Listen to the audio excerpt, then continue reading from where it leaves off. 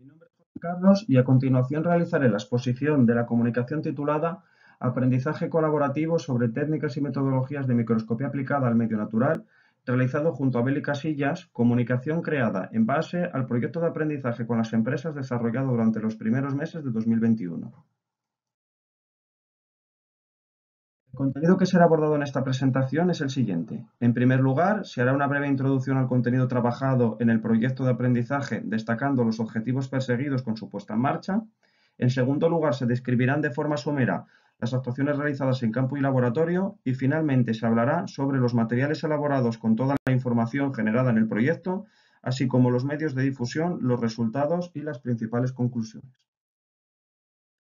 El profesorado del Departamento de Forestales IESOD Garganta, consciente de la importancia que tiene la formación continua del profesorado en la mejora de la práctica docente diaria, aprovechando la convocatoria abierta para el aprendizaje con las empresas, presentó un proyecto durante el curso 2020-2021. El objetivo principal del proyecto era la mejora del conocimiento sobre instrumentos ópticos y el aprendizaje de nuevas técnicas de trabajo para la preparación de muestras ambientales para su observación bajo el microscopio. La puesta en marcha del proyecto ha requerido llevar a cabo actuaciones tanto en campo como en laboratorio y posteriormente la creación y difusión de los contenidos elaborados. Para la puesta en práctica del proyecto, en primer lugar el profesor participante ha colaborado en la recogida en campo de materiales naturales diversos y en su posterior acondicionamiento para el estudio laboratorio. En cuanto a las actuaciones en laboratorio se refiere, el estudio ha requerido en un primer momento habituarse a las técnicas de trabajo propias del uso de lupas binoculares y microscopios ópticos para posteriormente hacer uso de estos recursos en el análisis en fresco o en seco de las muestras recogidas directamente o aplicando tinciones concretas para destacar sus estructuras. Durante todo el proyecto fueron tomadas fotografías para ilustrar las publicaciones creadas con software libre de dibujo y que posteriormente fueron difundidas en formato PDF para facilitar su consulta. Como ejemplo de estas publicaciones se pueden destacar los dípticos y el póster que tratan sobre los instrumentos ópticos usados, como son la lupa binocular y el microscopio, como los que pueden observar en esta presentación,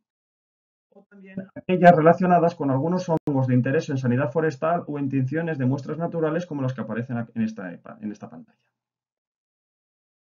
Como medios de difusión se utilizaron durante el proyecto la propia página web del centro educativo o las redes sociales de la, de la empresa y del propio instituto, mientras que al finalizar el proyecto la difusión continuó principalmente a través de la plataforma Moodle del Departamento de Forestales.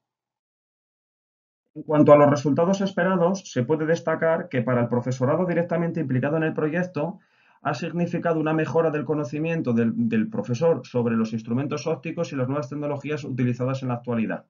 Además, ha podido realizarse una aplicación práctica de técnicas para la preparación de muestras ambientales, como el corte, las tinciones y las mediciones de estructuras. Mientras que para el resto del profesorado Gracias a la difusión realizada del proyecto, estos pueden adquirir estos conocimientos básicos sobre las técnicas utilizadas de forma indirecta.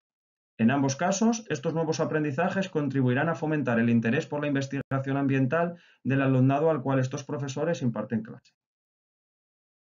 Como conclusiones, se puede destacar que las actuaciones de colaboración entre el sector productivo y el profesorado para la mejora continua de estos últimos pueden suponer una buena herramienta para mantener actualizados los conocimientos de los profesores.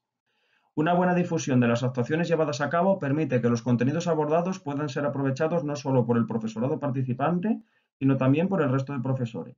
Y en este sentido juega un papel relevante tanto las nuevas tecnologías como las redes sociales.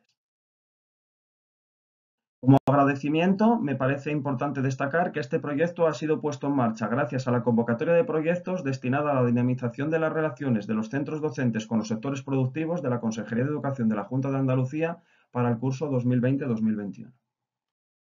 Gracias por su atención.